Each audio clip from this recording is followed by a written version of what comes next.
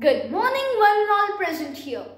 I, Yashvi Dutta, from Third School, Pune, Grade 6C, would like to recite Subhashitas. A Subhashita is a Sanskrit saying that conveys a message in form of an aphorism, maxim, fact, advice, lesson, riddle, or truth. The word Subhashita literally means well-spoken or eloquent say. They often comment on human behavior, poetic imagery, or an instance of close observation. So, let's get started with the Subhashitas.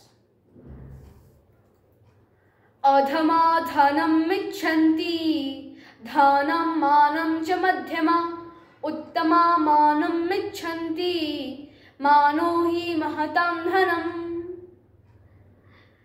This Subhashita highlights different priorities of people having different characteristics. Lowly people desire only wealth. Average people desire both wealth and respect. Whereas nobles only desire respect, considering it to be their true wealth.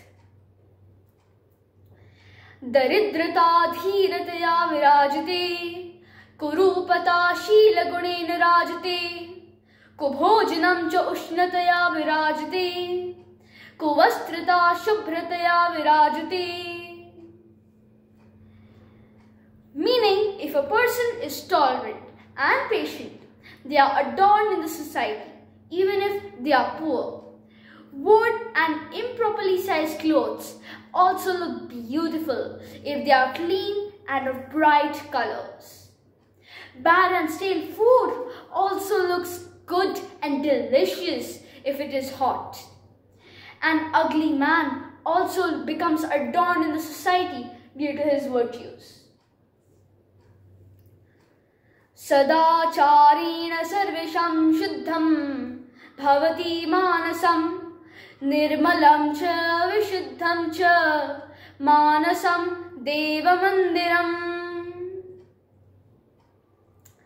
This Subhashita emphasizes the importance of good conduct and its purifying effect on the mind. By doing good deeds all the time, our mind gets purified. Such a pure mind, devoid of any bad thoughts, is a temple in itself. ज्येष्ठत्वं जन्मननैव गुणैर्ज्येष्ठतम् मुच्यते गुणात् गुरुत्वं मनति घृतं kramat. This Subhashita portrays that greatness is not described at birth. It is rather acquired by the qualities possessed by the individual.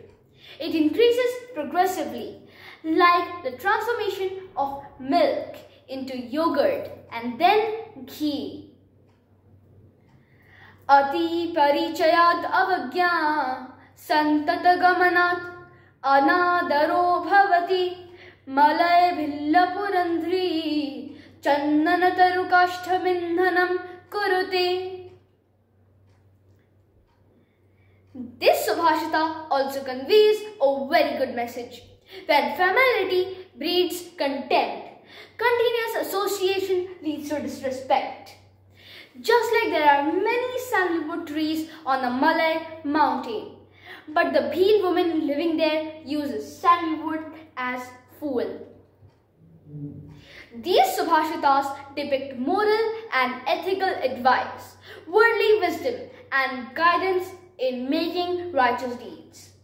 Children like me must learn Subhashitas in their early ages to distinguish between good and bad and to decide what to do and what not to do. I hope you all would like my recitation. Thank you.